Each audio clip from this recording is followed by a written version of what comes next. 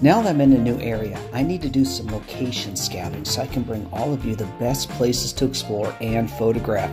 Since it's a rainy day, this is a good day to do this.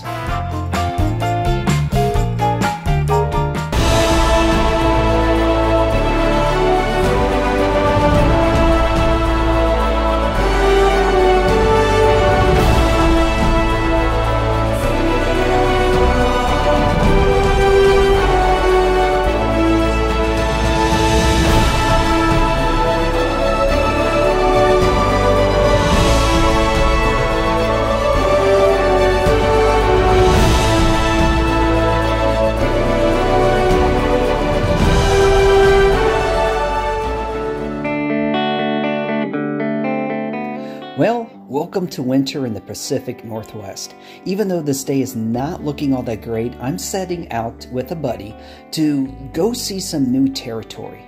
We are heading east on Washington State Road 20 into the foothills of the North Cascades. For those of you who have been following my channel for a while, you already know that I like remote places. It's just a lot of fun to be off the beaten path and explore the trails less trampled. Well, this road is not exactly remote and is definitely trampled. So we are taking a detour on our way to check out a lake as a potential photo and camp location. We notice this alternate route that would take us a bit longer but get us off the only road through the North Cascades. This is definitely the wet time of the year in a wet forest. We are surrounded by green hanging moss. This is Baker Lake Road. I plan on driving this road to its conclusion somewhere in the wilderness of the North Cascades, but today we are heading to the Lake Shannon Recreation Area. The Lake Shannon Road eventually became surprisingly rugged and really raised my hopes that this location scouting mission was going to be a success and I would find a campsite with the photographic view that I was looking for. Right, and I was hoping we'd be able to see Mount Baker, which should be right there but the weather is crappy today, so no Mount Baker. And I was also hoping to see if this was a good spot to go camping. It's pretty much farther out here than I thought, and it's marked for no overnight camping. So there goes that idea, so I guess we'll have to continue to look around. Oh, glimmer of hope, little blue sky coming through up there, glimmer of hope. So I guess we'll keep driving around, see what's in the area. I also wanted to scout a trail that I found on alltrails.com. This site has a filter for trails for off-roading vehicles. I discovered the Finley Creek and Iron Mountain OHV trail. At 44 miles long, it looked like a good weekend camping trip. Be ready for the unexpected whenever you go exploring, like when you stumble upon this cascading waterfall.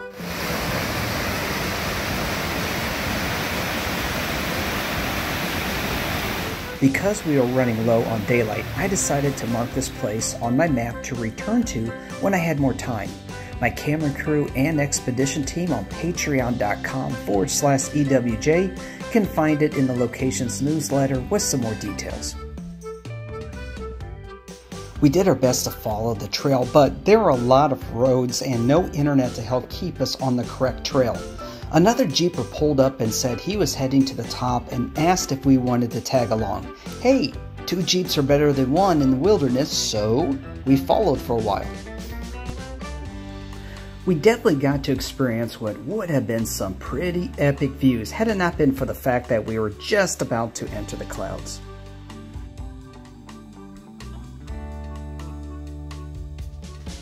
Something else we started to notice is that the snow was beginning to pile up. As a matter of fact, it was getting deep. These are conditions that we were not prepared for and eventually we got stuck.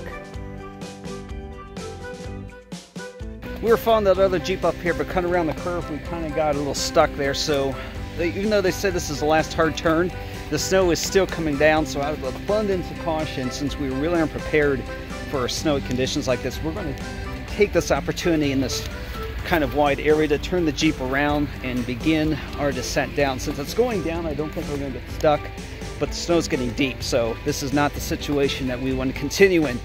So maybe some other time we'll come back and head up to the top, but not right now. The other driver did try to convince us to continue on. We do have a tow strap and they had a winch, but I felt it was better to err on the side of caution.